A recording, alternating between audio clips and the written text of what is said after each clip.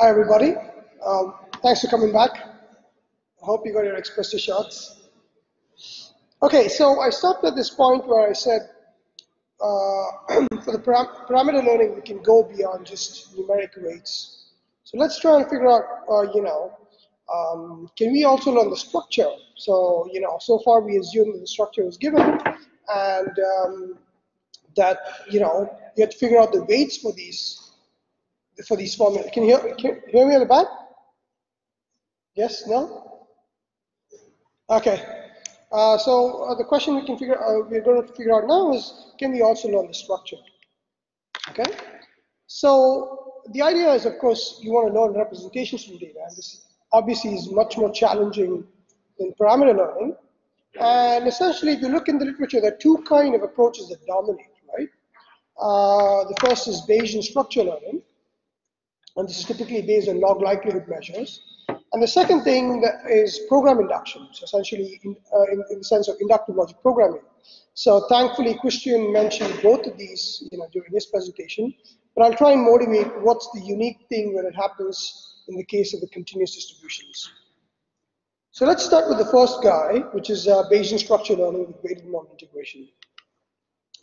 So Bayesian structure learning is a very long history, right? So essentially you're trying to figure out what are the dependencies in terms of the variables from data and uh, what you try and do is use likelihood-based criteria to rate different representations and you stop when you've found a representation that matches the expectations from the data. It's the same idea, right?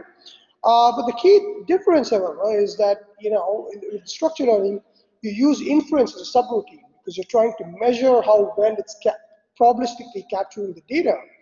And because I said inference was intractable, so it shan't be hard, learning also becomes intractable as a result of that. So the tractable learning paradigm, which Christian mentioned as well, is asking the question, why don't we learn representations that already permit efficient inference? And this way it sidesteps the, the downsides of having intractable representation. So um, the kind of one kind of tractable representation that's of interest here are sum product networks. Um, you know, um, these, as uh, was mentioned, these are basically derived from these kinds of uh, data structures called arithmetic circuits. And the idea is fairly simple, right? At the leaf nodes, you basically have univariate distributions. And as you go up, you have, you have two choices. You have either sum nodes or product nodes. And if you think back about how you define weighted model counting, right, it was a sum of models, the product of literals, you suddenly start seeing that there is actually some kind of similarity um, in terms of weighted model counting and sum product networks. And in fact, it turns out, uh, in, in regardless of whether you consider uh, variations of arithmetic circuits and sum product networks, in the form of weighted model counting, they lead to the same kind of um, uh, same kind of representation. So essentially, both of them can model, they, they have the same kind of um, uh, computational abilities in terms of uh, computing the partition function and other kinds of condition probabilities when you reduce it to the weighted model counting formulation. Okay, so the advantages of sum product networks is that it's A, it's a graphical model, and B, it's sort of an interpretable deep architecture, right? So essentially, you can have latent variables going all the way up. Um, so, um, you know, so it's essentially a deep network, but the whole network itself has a probabilistic semantics. And finally, the most attractive thing uh, is that probabilistic queries are actually computable in time, polynomial in the circuit size. Just to give you an idea of how well, uh, you know, SPNs can sometimes represent certain distributions, if you contrast these two guys, this is capturing the mixture distribution, okay? And uh, this is, a, if, you, if you consider a naive representation, uh, and considering the fully connected network, and as you can see, it's extremely dense. But it turns out you can represent this problem using an SPN in a much more uh, low tree width model. And this has a number of advantages because uh, you typically can do a single pass on this network and compute probabilistic queries. Okay, so there are quite interesting properties here. To give you a much more intuitive example, imagine I'm trying to construct a sum product network that defines what does it mean to be an office space, okay? An office space typically has windows, right? It, it might have a lamp, it might have a desk. And what the sum product network essentially learns is different compositions. It learns mixtures of what it means to create a lamp what, what does it mean to have a laptop? What does it mean to have a table? What, is, what does it mean to have a laptop on a table? So on and so forth. And you know, you essentially, uh, in that sense, each of these triggers, right, the leaf nodes, stand for a certain feature being true or false, right? So it's learning sums and uh, weighted sums of, uh, of features. So how would we do structured learning with weighted model integration? The key idea really is to look at the data points and sort of think about what the sums and the products mean, okay? So the idea behind SPNs is that as soon as you have um, independence, right, you can basically construct a product node. So think about all the variables in your domain, and Im imagine you're able to figure out certain chunks which are independent from other chunks, to unify these, right, then if you think about the partition function, it's breaking, it's breaking down into individual segments, right? So that you can combine them using a product node. But within each of those segments, right, you're essentially a sum node to put them together. Okay? So what you would do is that you look at your training data set and try to identify these independence across these variables. And if there is independence, then for each of those uh, each of those clusters, you do a sum sum um, construction. For each of these independent each of these clusters, you do a product construction. But the key point is that when it comes down to the to the to the um, each of the individual variables, you use weighted model integration to basically learn polynomials for that variable. So here's a pictographic representation. Okay, so essentially, think about the leaf node, right? you have intervals like this, right? You have weights on these guys, so you have polynomials on these weights. And this is done exactly as I described, you know, just before we took the break. And uh, using these polynomials and these, uh, and these intervals, you can basically compute probabilistic queries, typically in one pass. Often what happens is that you can get a query that uh, not only mentions one interval, but many intervals. So what you need to do is you need to recursively decompose that query, compute it for each of the individual intervals and, and percolate these answers upwards. Okay, so you might actually require multiple passes, but in any case, it will be polynomial in the network size. So here's some uh, some um, some some some fits on some representations we learned. So this is our diabetes data set, and like or what I mentioned in the parameter learning part, right? So uh, depending on how many bins you have, you can get different fits for the data. So this is a two bin model, so two intervals. And you can see the fit is not that great, but and I go to a five uh, five bin model, so five intervals, you get a really good fit, right? What about how well does it compare? Like why do we need these polynomials? So you could essentially look at the log likelihood improvement, and what you often see is that you consider the case where you don't learn these continuous distributions, you get one of these graphs. Essentially, that's the that's the uh, fit of the of the model to the data. But as soon as you learn polynomials, you get a really a really high log likelihood, which means it's a very good fit for the data. So you could ask yourself, right? Um, what kind of polynomials do we need? Remember uh, when I discussed parameter learning, I said, you know, you have an upper bound on the number of degrees. So what's this degree? Should it be 100, 1,000, a million? It turns out in practice, um, if you're looking at log likelihood scores, actually you don't need a whole lot. So this is a bunch of data sets we tried it on. And um, what you can see is essentially the percentage of the number of um, uh, variables requiring degrees of certain sorts, right? So for instance, about 17% require third degree polynomials for this data set. Um, about 16% require fourth degree, 33% require fifth degree, and 33% require sixth degree, right? And this is one of the most extreme cases. Often you see, for instance, in this case, in the iris data set, you know, at fourth degree, you often get 50% of the points, so you're done. You don't really need to go beyond that. In fact, for most of the data sets, we haven't seen good reasons to go beyond six, right? So the upper bound is not that high. Um, and in fact, you could, if, if, you wanted, you could even stick to uh, just a third degree polynomial and a small, you know, uh, small loss of, uh, of likelihood measure and still get very good representations.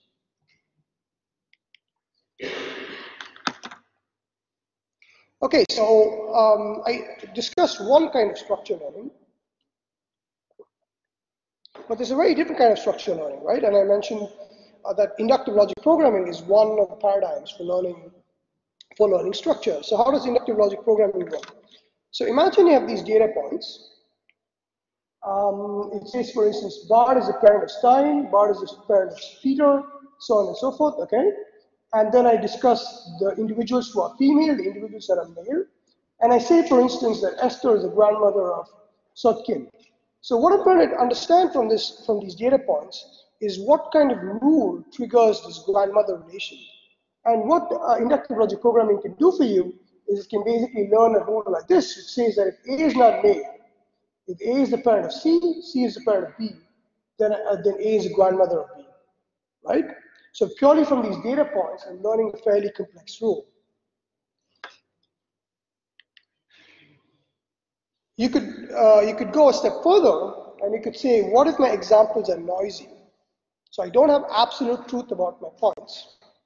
I believe that some, some atoms are much more likely than others, and this gets you to probabilistic ILP. So the way it works is that you have a set of examples, okay, consisting of pairs, so X is a ground fact, and P is its probability, okay? You have some kind of background knowledge, which can be arbitrarily complex. You have a hypothesis space, which tells you the kinds of rules you want, you're allowing to learn.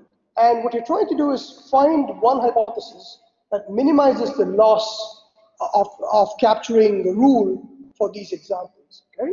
So ideally, you know, you want to learn programs like this, right? You want to learn uh, the probabilities in atoms and the probabilities of rules themselves. Okay, so that's that's the that's the holy grail to essentially induce these kinds of programs.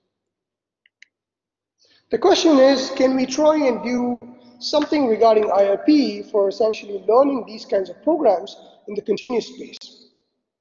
So to do that, let us look at a case of these uh, the specific probabilistic logic programming paradigm I'm talking about is ProbLog. And let's consider the case where you can model continuous distributions in this probabilistic logic programming language. So uh, this is what is called as hybrid problog, okay?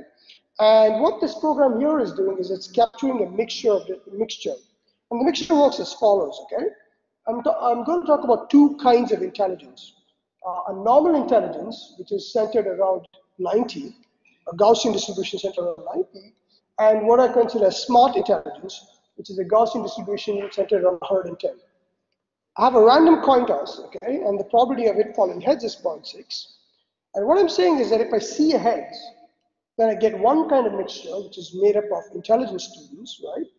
And if I see uh, tails, then I get another mixture of students, which is really smart students, okay? The point is that um, semantically, when you're thinking of this, you have one set of worlds where heads is true, and another set of worlds where they are where they're intelligent and smart. So this is hybrid ProbLog for you. And um, what we try and do is we figure out how we can induce uh, logic programs using weighted model integration. So what's the idea? Uh, the idea is that you, you start off by learning univariate distributions like before, okay? You discretize a space, you learn the, uh, the um, polynomials for that space. The second thing you do is you send weighted atoms to the program learner. The idea is that you now have these univariate distributions and they will compose of new atoms for a probabilistic ILP paradigm, and the output will be will be a ProbLog program. So the thing, kind of things you learn is that uh, if um, you, uh, you, could define two kinds of intervals, So the intelligence range is below 17, and mid I would be the intelligence range between 17 and 90, and you would say that for this range, right, you're essentially learning a piecewise polynomial representation. For this range, you're a polynomial that looks like this. Does that make sense? Essentially, you're, you're, you are uh, expressing the decomposition of a piecewise polynomial function as a program, right?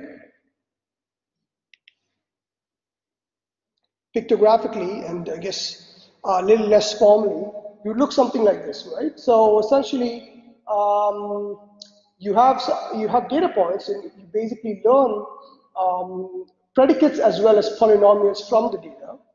And these would be sent to a rule learner, which would allow you to learn a complex program.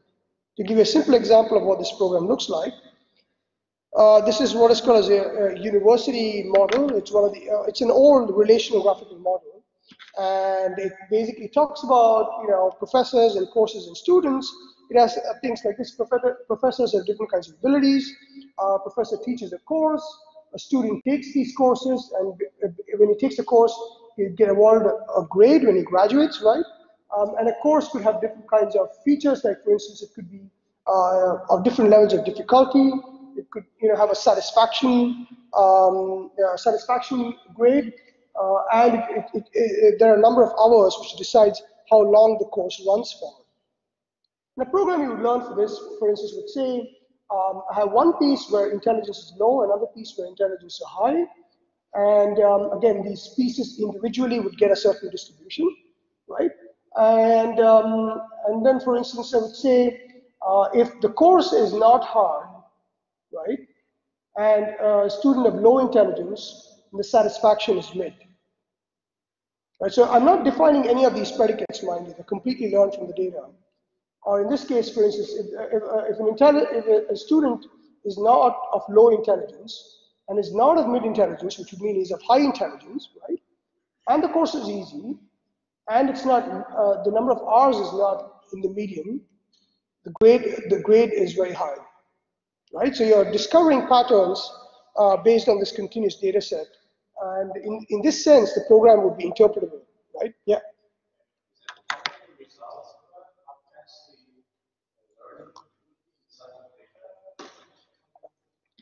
For the ILP part or the polynomial part? Yeah, I mean, uh, there are, um, you know, um, there are some results in, in the paper which discuss, uh, you know, how long it takes and so on. Um, I mean, you have to consider that both this version of ILP, oops, right? So if you, so this is a heuristic, right? We're basically learning over a hypothesis space and you're minimizing, and so is the polynomial learning. So it could, in essentially, it's any time right? because you could choose to not consider not explore the entire hypothesis space. But if you did explore it completely, then it can, it very much depends on how large the space is, because it at least needs to do a linear pass across all possible hypotheses.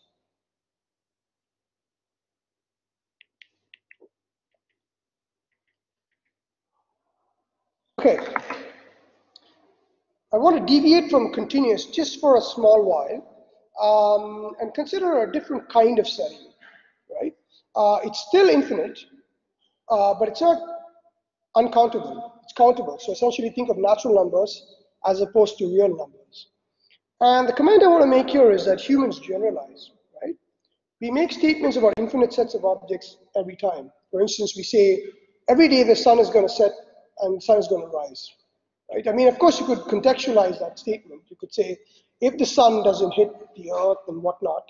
But even then, you know, you, you, it's more it's more like conditional. You still make extremely general statements, much beyond the data you have actually seen. So you have only seen a finite number of days, but you're willing to make statements about infinite things, right? And uh, often in many applications, you also encounter objects that you've never seen before. So I want to argue the case for a new kind of model, which I call open universe models, uh, which captures this flavor of uncertainty. Okay? Let's look at an example.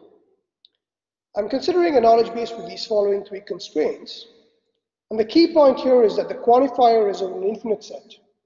Okay, so let's, let's assume it's over all natural numbers. So it says again, as before, I'm ignoring the weights for now for simplicity. Um, so it's essentially saying if X is a smoker and X is friends with Y, then Y is a smoker as before. And this applies to every person I will see. Okay? Uh, John is a smoker. I'm finally saying that everybody is friends with John. Okay? So all of these qualifiers are an infinite set. And my query is, is Jane a smoker? What's the answer to that?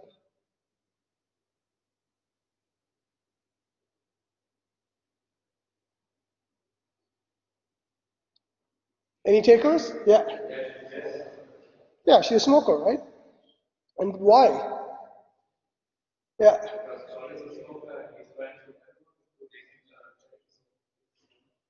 Fair enough. And suppose I change the query to say, is Bob a smoker? Would it change? Be the same, right?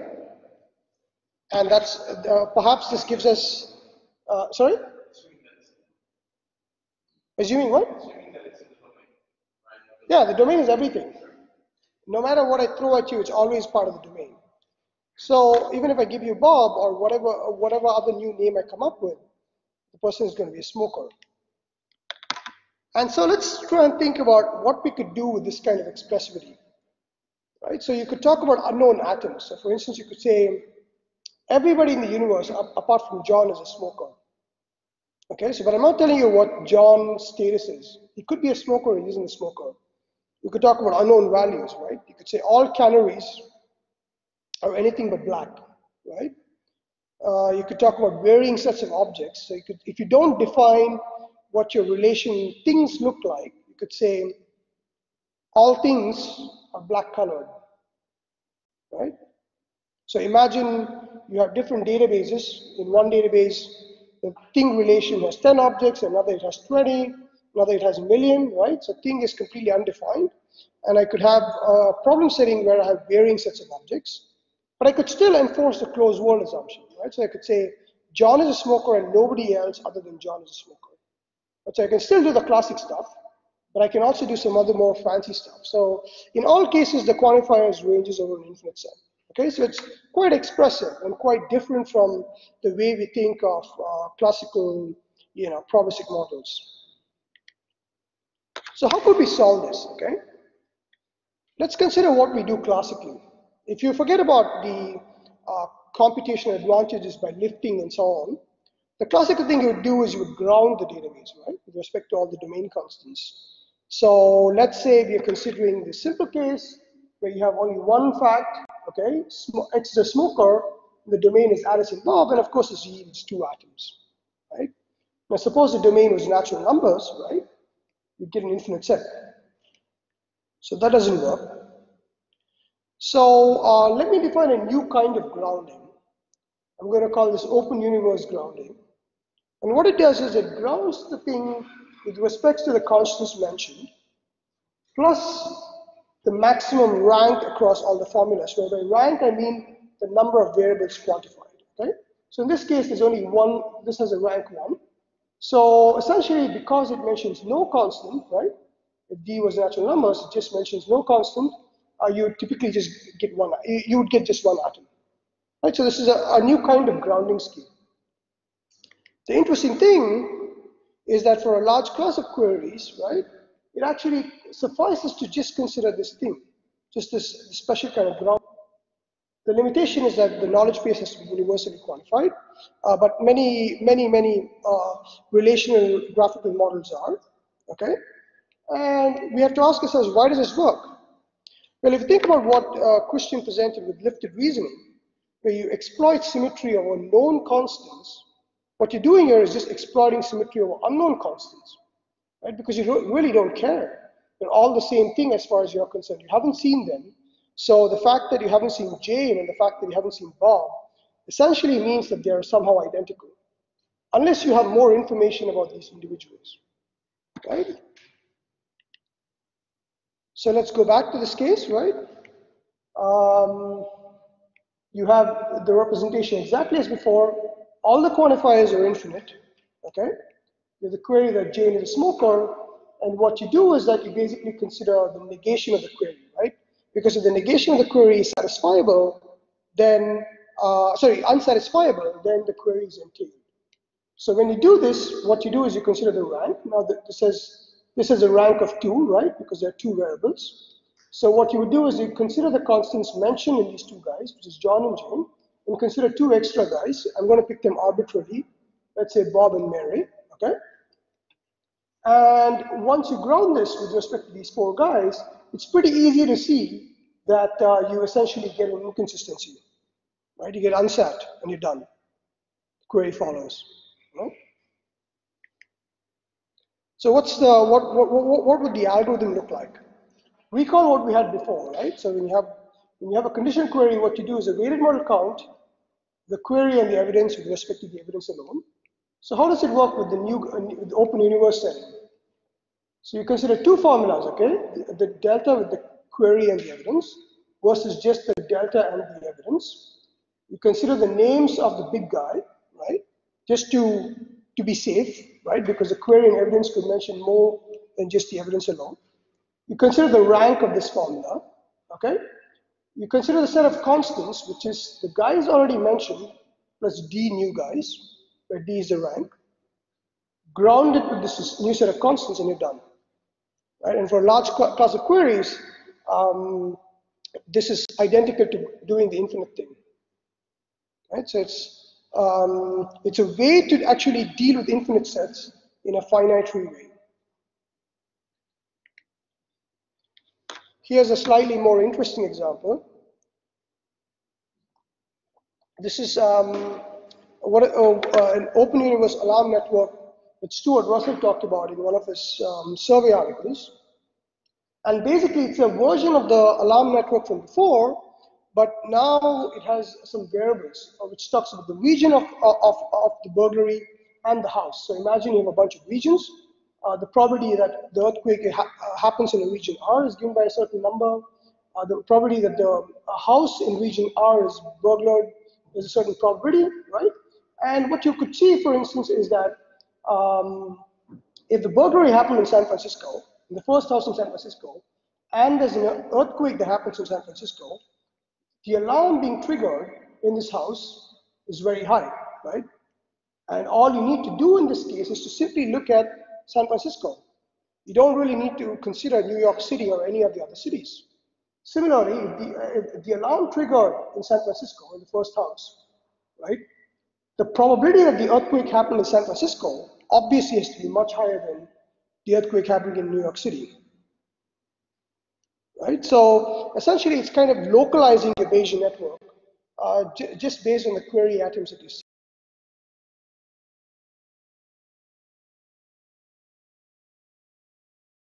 Okay, so have functions. We could ask ourselves, can't we do the same thing like we did before? Just reduce it, right? But actually it doesn't work because the thing is that with functions, you immediately get an existential quantification. Okay, so, so let's look at this example. No quantifiers here, right?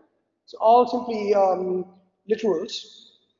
And it says this, the advisor of Mary's advisor is not John. Okay? The fiance of Mary's advisor is Betty, and the advisor of Mary could be Adam or Dan, right? The thing here is that you don't know who the advisor of Mary is, but implicitly, right, there's an existential qualification. Mary does have an advisor, you just don't know who it is. More generally, right, if you have a function like f of x is equal to y, you can write this as a relation, it's no problem. You can write this as rxy, but you have to add the constraint, there exists in y, such that r of x squared. That's because in first order logic, every function has to get a value. There's no way around it, okay? So you have this existential here, so you can't really use the theorem from before because I explicitly said, look guys, you have to assume that uh, this is universally quantified, okay? So you can't, you, you can't get the same thing as before. What can you do? Turns out actually even in non-quantified knowledge bases, it's already hard. Let's try and see why that, whether that's the case, okay? So here's a very simple uh, uh, knowledge base. It says that f is not 1 or g is equal to 1. And g is not equal to 1. This is a hard constraint, okay?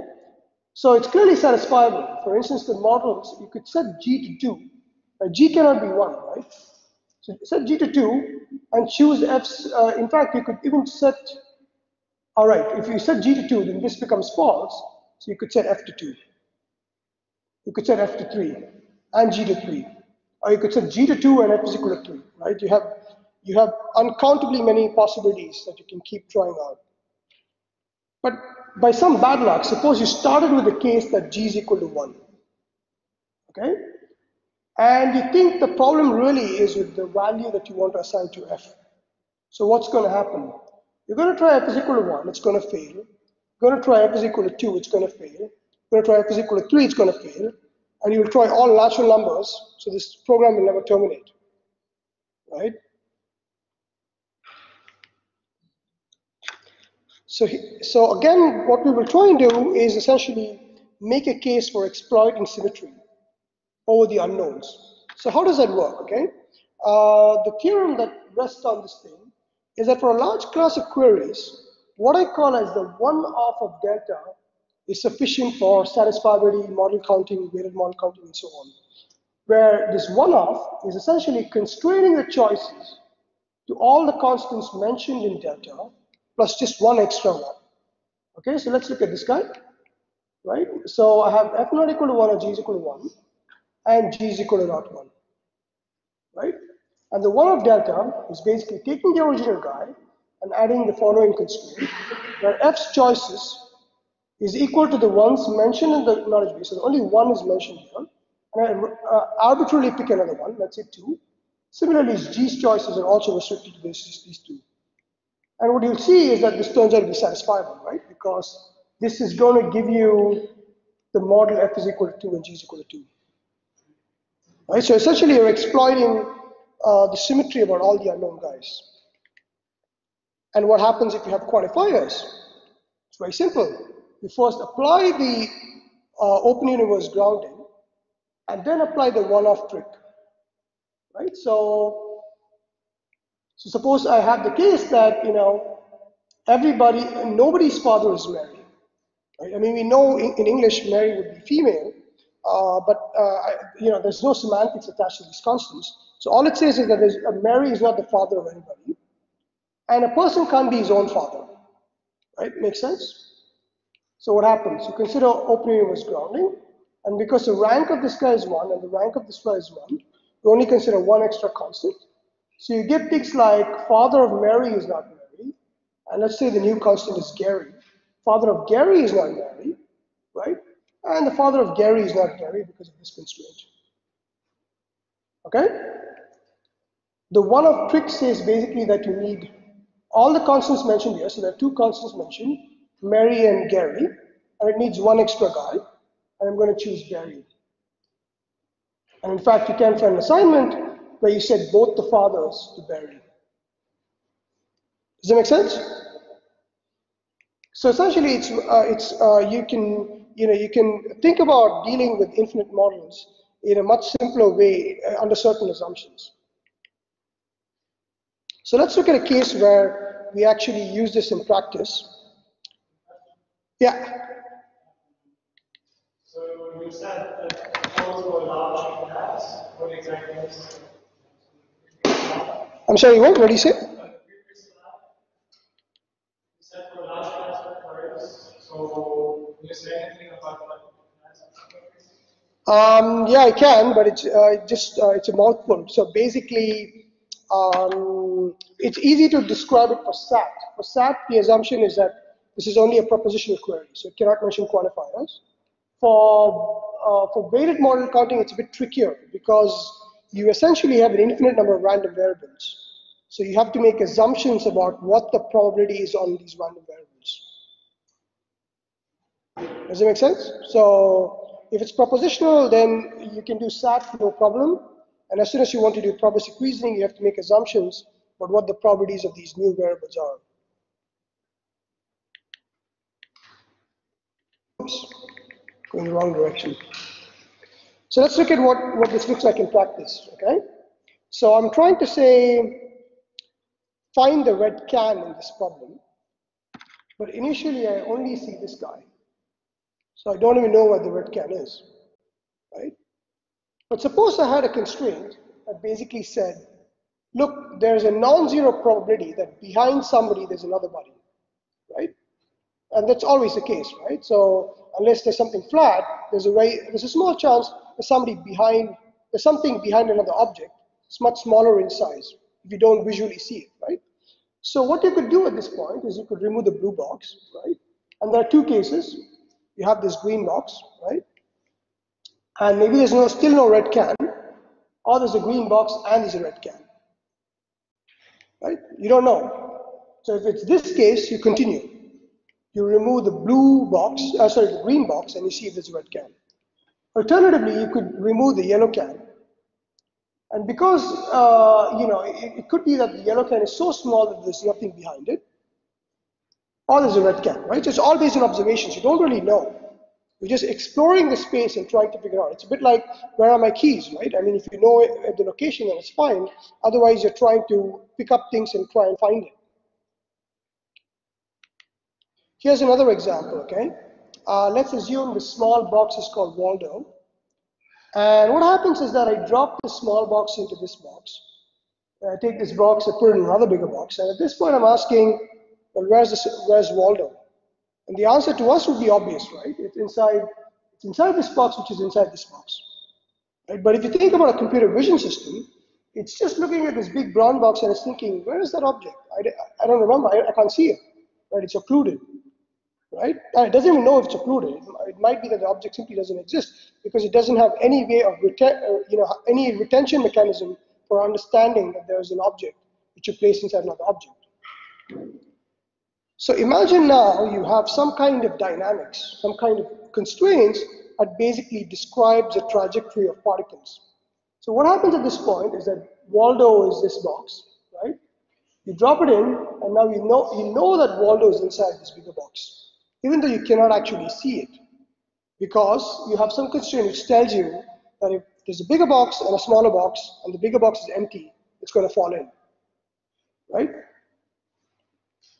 This continues, and at this point, even though you cannot see it, you have an internal mechanism which is telling you that the, the object is in the center. So how would we do this? So essentially, we turn to probabilistic logic programming, okay? So uh, let's try and, uh, you know, uh, suppose we wanted to capture this idea that we don't know the color of an object, of wooden objects, okay? The way this rule works is that it gets triggered for wooden ob uh, objects whose material is wood, okay? And you say that the color of this object is taken from a uniform distribution in black or brown. So you don't know which one, okay? So you allow uh, the possibility that you have different wooden blocks of different colors, black or brown, right? And there's some distribution. You could say 60% of the blocks, uh, blocks are black and 40% are brown, whatever. And again, uh, think back about what we uh, considered in the previous slides, that we, you, you, know, you can learn both the parameter and the structure of these rules, given observations, right? Now, suppose I want to go one step further and say, oh, look, I not, not only do I know the color, but I also don't know the size of these blocks. Okay, how would we do that? So imagine now I have two kinds of blocks. I have wooden blocks and metallic blocks. And the size of these blocks, of the wooden blocks, is given by some kind of distribution. Okay? And the size of the metallic blocks is given by another kind of distribution. So how this would say is that if x is such that it's, it's a wooden block, the size of x is drawn from a beta distribution of this, this kind, and if it's a metallic block, the size of the block is drawn by another beta distribution. Okay?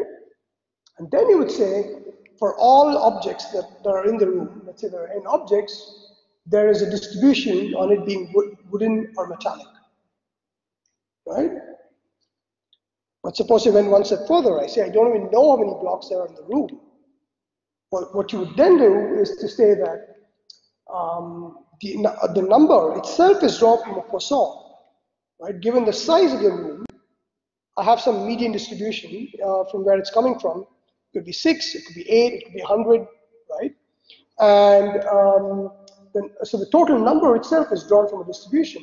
And for all of these blocks, you know, there's a distribution, you know, it being metallic or wooden, right? So you can capture fairly complex scenarios. Um, you know, an example is you have a robot and you bring him to a party, right? And maybe his model has an estimation of the number of people in the room, but without actually scanning the room, he can still have an internal prior on how many people he can expect given the size of the room, right? So let's go back to the Waldo example. So how would we do this? So essentially you would say, um, suppose I, um, I take an object B okay? And it's, it's, a, it's, a, it's of type B, uh, it's, a, it's of type box, and it happens to be smaller than the bigger block, then there is a discrete distribution on the probability that it actually falls inside, right? And of course, using logic, you can do transitivity. So you can say, for instance, if A is inside B, and B is inside C, then is A is also inside C. Right? So if you go back to what we had with the figure, right? There is a non-zero probability that it falls on this and it goes inside. In fact, there's a high probability, it's 0.8. This repeats also for this guy.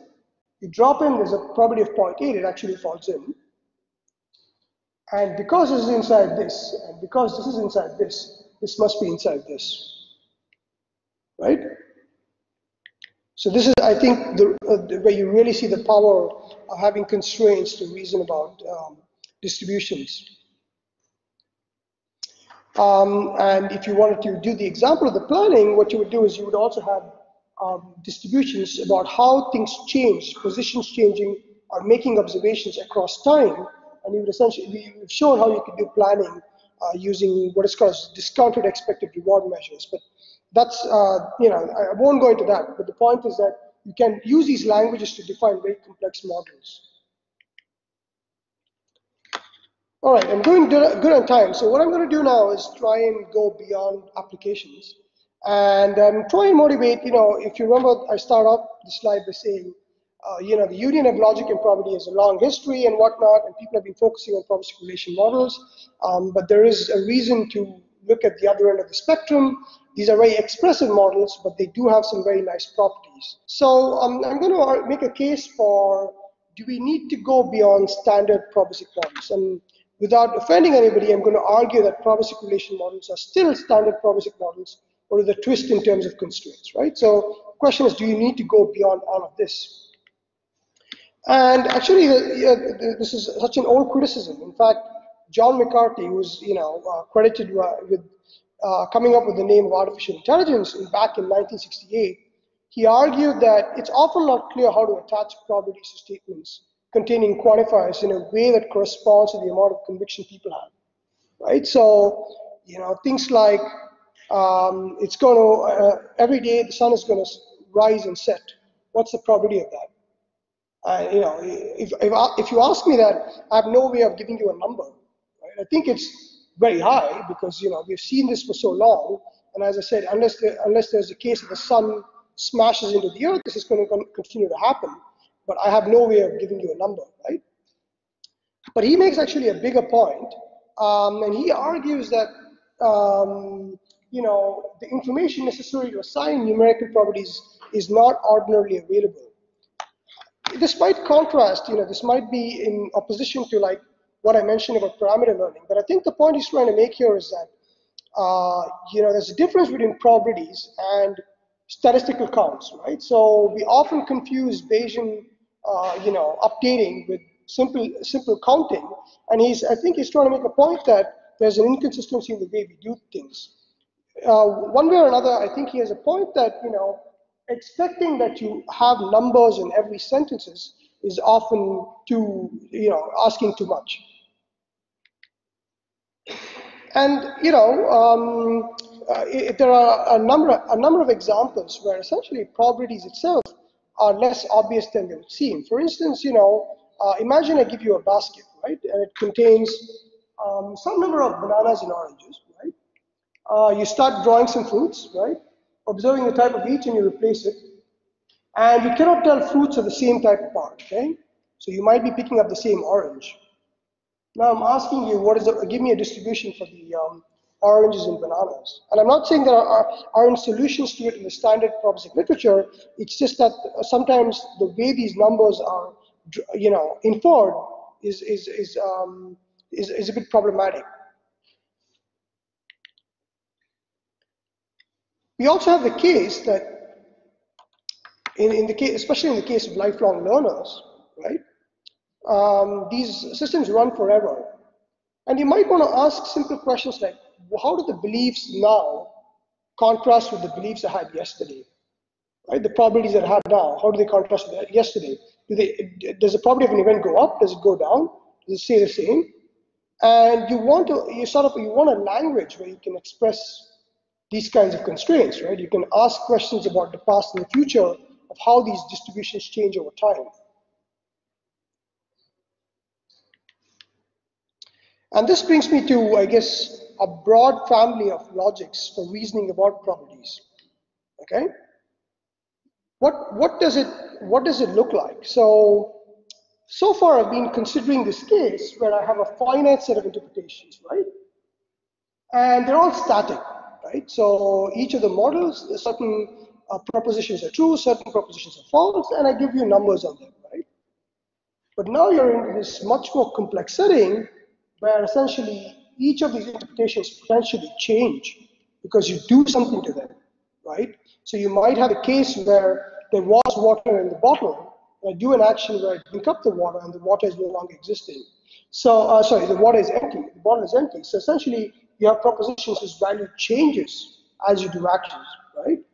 And now you're thinking about putting distributions on one of these guys, right? You're thinking, thinking extensionally about how distributions change. And this is fairly complex, right? This is not like what we usually do. And moreover, because you have uncertainty about the numbers, you're often dealing with sets of distributions on these structures. Okay, so it's a really complicated piece. So at this point, you might be thinking, what's the point of doing all of this? Uh, this clearly looks, you know, computationally impossible. And I'll try and make a case that, in fact, you know, uh, there are things you can still do with these kinds of richer, richer structures. Okay. Uh, I'm, I'm, talking about a kind of language where I can say things like the probability of, of a formula is less than or equal to or greater than a number, right? So typically you say the probability of an event is a number. Now I, I can give you inequalities for these numbers, right? So uh, one thing to note is that uh, it, it, even in this case, when you don't have a unique distribution of events, all the axioms of probability immediately follow. Okay, so for instance, um, if you say the probability of an event is n, of course it is the case that it's less than n and greater than n, right? Um, or for instance, if, if you say that the probability of an event is either n or n prime, it must be the minimum, right? At least the minimum, right? And of course, if you say that the probability, uh, the probability of a formula is, is essentially sum of, of another formula being true and the other formula being false, right? So union and disjoint certainly work. And let's look at one concrete example where you, you try and model a problem. So imagine now I have this counter. I'm trying to decrement the counter, okay? And I don't really know what the distribution is on the value of the counter. I consider one case where the value of the counter is two of them, either one or two, and it getting a value of one is 0.2 and it getting a value of two is 0.8. But it could also be that the counter is exactly two, right? So there's no way for me to know that. Okay? Um, I could have actions which decrement the value of this counter, and I could have actions that increment or decrement the value of the counter, and I can observe the value of the counter, but the observation itself is noisy. Okay? So this looks very um, uh, complex, but it turns out what you can basically do is you can do backward reasoning, right? Because if I tell you what is the probability of an event after doing a sequence of actions, I can start replacing the effects of these actions go backwards and consider what the constraint must have been initially. Okay, so it's a very simple trick. And um, uh, uh, the key idea is really just to replace each of these actions. So you apply a Markovian assumption, you keep replacing these actions, and you get back what the constraint must have been initially. And of course, you have a theorem which says that the probability does not change even if you do these actions. Okay? So um, it's quite easy to show that this in fact subsumes you know, existing um, results like products of Gaussians and so on and so forth, and it's all a closed form solution. So here's um, you know, a simple example. I start off with some kind of distribution, and I'm asking how does the distribution change um, when I decrement the value of the counter by 2 and I observe a value of 5. Again, both the observation and the actions are noisy. Okay, so the distribution uh, change is not monotonic. Um, and it turns out that you can simply do this backward chaining to get a very nice compact formula about you know what the distribution must have been. Right? So in fact, even though you think about these words extensionally, it's not it's not troublesome to actually reduce it to the classical case where you don't have these actions. Right? The point here, I guess, is that um, you don't you don't really need to construct these structures, right? nothing changes in your computational mechanism, provided you have one of these backward chaining tools, and you can still analyze the correctness of your systems. You know, there's a lot of work now on trying to understand the you know properties of machine learning systems. Do they satisfy this and satisfy that? And using one of these backward chaining techniques, you can essentially do classical machine learning. You can you can do this kind of reduction to think about how these distributions change and what properties they satisfy.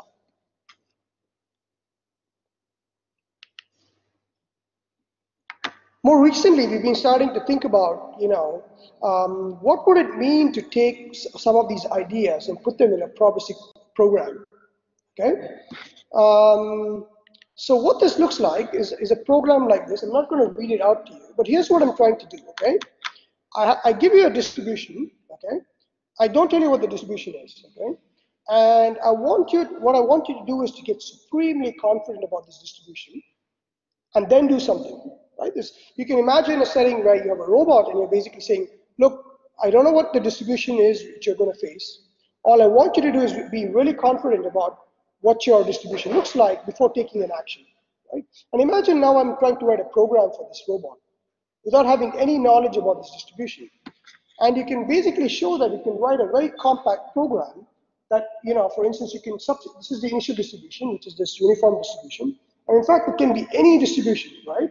And this program would basically get to the point where it gets really fine before doing an action, right? You're doing, you're writing programs that are completely agnostic about the distribution. And that's quite powerful because, you know, um, you can essentially uh, apply this program in many different settings without having too many, it's, it's a kind of a partial program, right? You're not completing the program. You're writing a partial program and expecting it to work in many different situations.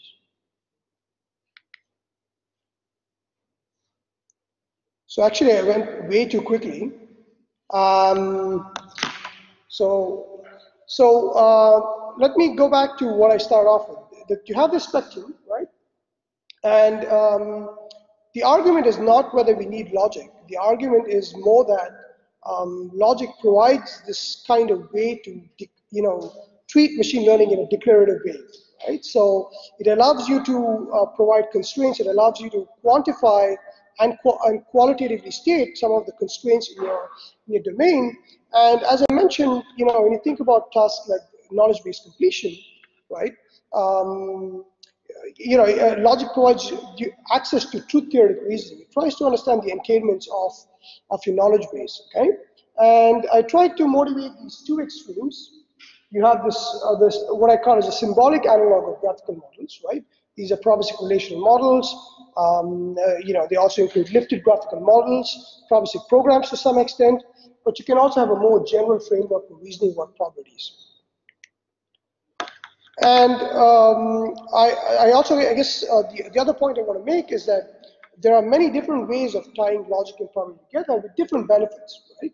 Um, you could stick to the point of saying, I still want just graphical models, and uh, I want a relational language to define these graphical models in a much more extensive, expressive and compact way.